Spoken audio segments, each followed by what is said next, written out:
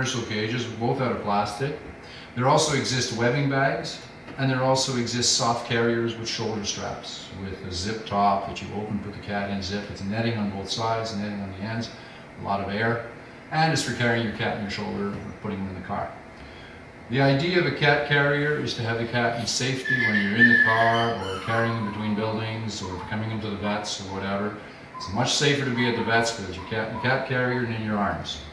You never know what you can meet coming through the door or you're never know what's going to be waiting for you on the, on the bench beside you. So it's always better to have Mr. Cat in the cage. All cages have different types of attachments. You can put a bedding in there, you can put a towel, you can put what you need to pick up if he soils. You can put paper. It has handles. This one is a latch.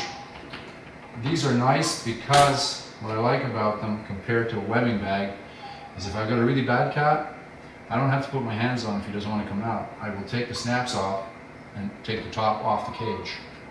Therefore I take the half top off and then I just go and lift him out. He has a whole pile of air and he feels free.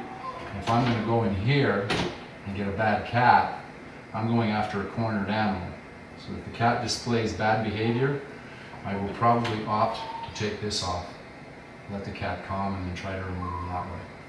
And of course, the third way to remove them is gravity. If they don't want to come, you can tilt them Often this will bring them forward, they land on the table.